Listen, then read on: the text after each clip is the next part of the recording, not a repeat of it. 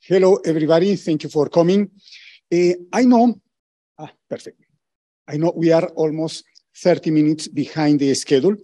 Uh, therefore, I will focus on uh, the origin and how Cartagena's protocol is working, because I think is is very relevant for, for you. And I will focus on that more than giving examples on how the protocol has been applied to animals. Okay.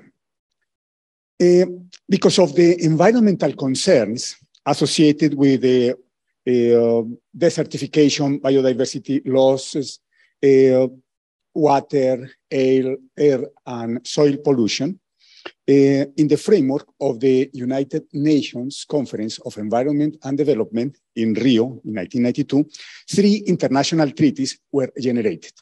The United Nations Framework uh, Convention on Climate Change, another one, the Convention to Combat Desertification and Drought, and the Convention on Biological Diversity. From these three, the most important one is this one, nowadays, the Convention on Climate Change. And some of you uh, have heard that, the, oh, in November this year, uh, between 6 to 18 November, uh, the world is going to have this COP27, okay? And that is the COP related to climate change. And it's going to be the biggest and the most important uh, meeting in the world, around 40,000 people. Okay, I cannot imagine the people that are organizing this meeting, but anyway. The other, the other uh, convention, the, the, one here is the Convention of Biological, of Biological uh, Diversity. And uh, this um, Convention of Biological Diversity, uh, it's important because it has three main object, objectives, conservation of biological diversity, sustainable use of its components, and sharing benefits from genetic resources. Uh, in the framework of this uh, uh, Convention of Biological Diversity, biotechnology is mentioned, in particular in four articles. in Article 18 and 19, 16 and 19, biotechnology is considered essential to attain the convention objectives, which is a very, a very good statement. And in some other articles, number eight and number 19, uh, they establish, or uh, uh, the convention shows the need to establish and maintain biosafety systems, in particular related to living modified organisms that could have, and here is very important because they say that uh, organisms that may have adverse effects on the conservation uh, or sustainable use of biological diversity. It's not on all living modified organisms, but by extension, uh, they say, oh, the, the convention is um, generating like an alert on the, the use of these uh, LMOs, which uh, is understandable because the, by the moment in which the, the convention was signed, uh, the convention was approved in 1992 and enforced in 1993, there were many questions around the, the use of living modified organisms. Okay, uh, as a, a, result of, uh, of these uh, articles, uh, several protocols came out. There is the Cartagena Protocol on Biosafety that is in in uh, 2003, uh, the Nagoya Protocol on Access and Benefit Sharing, and the Nagoya Kuala Lumpur Supplementary Protocol on Liability and Redress. Uh, in summary, we have an environmental uh, family of instruments. I don't know if it's a normal family or is it a functional family, but uh, uh, how this is how it is. And the, the thing is, we have here the, uh, the Convention on Biological Diversity. We can consider as a grandfather. This uh, father has two sons, Cartagena Protocol and the Nagoya Protocol on Access and Benefit Sharing. And uh, the Cartagena Protocol has a son, the Nagoya Kuala Lumpur Supplementary Protocol on Liability and Redress. Okay? Something important. The, the convention was uh, mentioning in four of its articles the, the, the, the word biotechnology and the interest for biotechnology, as I was showing.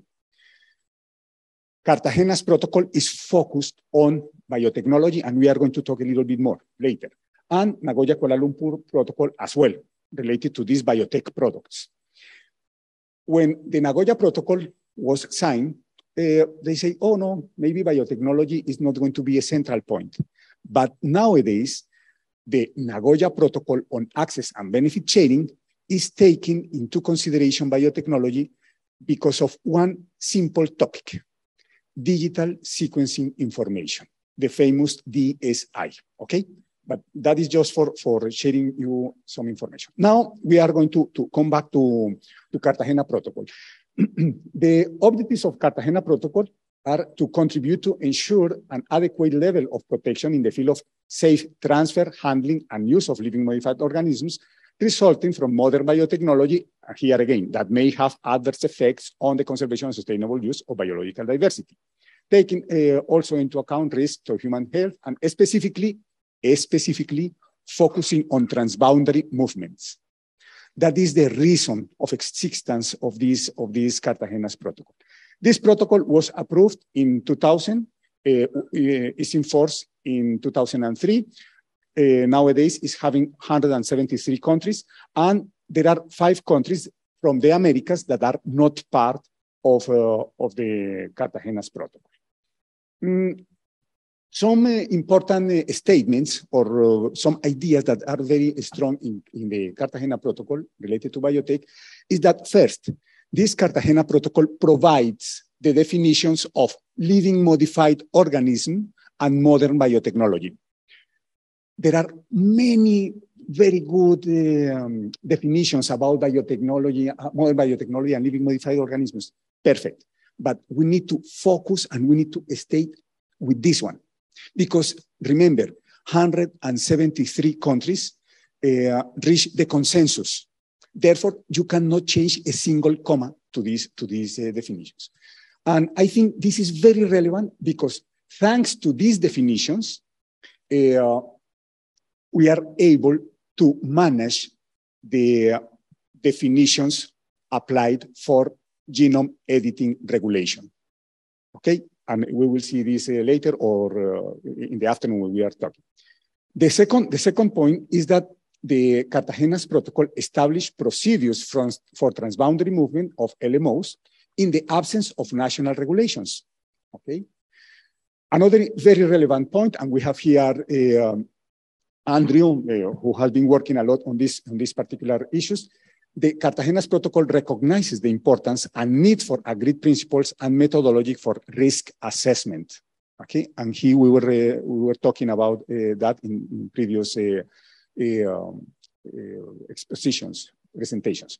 The, the other the other idea is that the Cartagena's protocol propose, and actually they have the biosafety clearinghouse mechanism that is like a big platform of exchange for exchanging information. And this one is for me very important.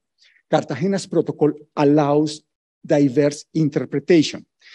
Essentially, Cartagena's protocol is presenting general ideas and elements to take into consideration, but is not saying how to do the things. Yeah. And that is why you see a country like Brazil having its own regulatory framework aligned with Cartagena's protocol, but they have their own form to, to, to work. They have a commission with uh, 54 members. Cartagena's protocol is not saying how many members you, you, you need to have. And it, it's just to, to send the message that Cartagena's protocol is sending just general lines, some elements that you need to take into consideration. Okay, the government bodies of the convention and its protocols are the famous, for the Convention of Biological Diversity, the Conference of the Parties, the famous COP, okay? For some people, it's the infamous COP, but anyway. And for the other protocols, for the Cartagena's protocol in biosafety, Nagoya protocol on um, benefit sharing, and Nagoya Kuala Lumpur protocol, they have as governing bodies the conference of the parties serving as the meeting of the parties, MOP. And in summary, or in short, COP MOP, or in some cases, MOP. Okay? And that is very confusing for the people. Imagine you trying to talk with a journalist saying, oh, yeah, I'm going to the COP. Immediately he's saying, oh, yeah, the, the most important one that is related to climate change. But if you say, no, no, it's not that one, it's the COP MOP. Uh, what is that? And uh, the, I, I, I think we need to, to clarify these things, at least for the public. But anyway, Uh, since 2016, the COPs, the Conference of the Parties from the CBD, and the MOPs, all these uh, conference from these uh, uh, protocols, met in an integrated fashion. The UN, the United Nations Biodiversity Conference. Okay, and here I just want to, to, to, to mention the main duties of COP and COP MOPs. Essentially, the main duty is to promote the implementation of the convention and its protocols through the decisions they take at their periodic meetings. Uh, for uh, the convention, the COP, establishes thematic programs that set objectives and strategies for conserving genetic resources in each of the main types of ecosystems. And you see here uh, the, the, the, the, ecosystems they are focused on. And in the case of the Cartagena Protocol, the COP MOP reviews implementation, discuss topics related to risk assessment, communication, capacity building, financial mechanism, emerging issues. And here you see uh, the, the, the list of the different meetings of COP and COP MOPs, okay? Starting from 1994 up to uh, this year is going to be between 3 and 19 December 2020, uh, 2022 in Montreal, Canada. Very nice place, but I don't know if in winter time it's going to be like that. But anyway, the other, the other uh, point is that there are not just COP and COP MOP. There are some other meetings. And between COP and MOP, between COP MOPs, you have oh, the governments and organizations can submit formal comments to the Secretariat. The Secretariat established open-ended online fora on specific topics.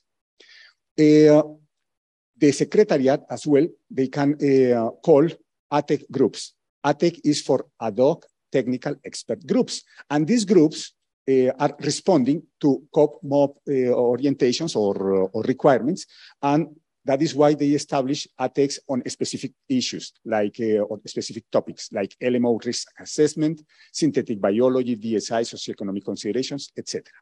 And this AHTEG could spend years, 10 years, discussing the same thing, starting here and doing a very nice thing in order to arrive to the same point, because that is the thing that is happening. And they have uh, another, another meeting that is the SBSTTA for subsidiary body on scientific, technical, and technological advice, and the SBI, the subsidiary body for implementation. This is more administrative one. But uh, here, just to show you, here is the list of the SBSTTA meetings. The COP MOPs every two years, SBSTTA meeting every year. And we don't have time to, to, to check here, just to mention that this SBSTTA is a kind of preparatory COP MOP. Okay, and this year, uh, this meeting was carried out in Geneva. Uh, um, essentially, it was in March. Uh, very nice, but at the end, no conclusion, no uh, agreement was reached, and was necessary to generate another meeting in Nairobi, in Kenya. And the result was the same, nothing clear. But anyway, how the, the, the, process work. The COP MOP identifies topics to be discussed at the next COP MOP, and they uh, ask for studies, or they say, okay, the governments and organization, please submit your ideas.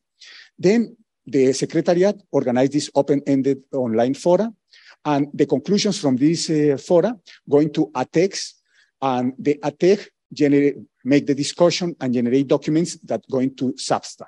And the SBSTTA analyze the documents and then going to the next COP MOP. And in the COP MOP, they are, they are uh, approved. And here you see the mechanism in which they are in contact with the Cartagena's protocol. And this is for the administrative part. And now there is a little monster that is appearing that is called the Open-Ended Working Group on the Post-2020 Global Biodiversity Framework. And for me, that could be a very, a very difficult instrument to manage because personally, they want to solve world problems by using this document. And that is not, that is not possible. Anyway, uh, just to, to, to finalize uh, how the COP MOPs are functioning, the participants are officially delegated by parties. Therefore, if you want to participate, there, you need to ask your focal point in order to be registered in the, in the meeting. Uh, observers can assist and express their ideas, but in plenary session, they, they must be supported by parties.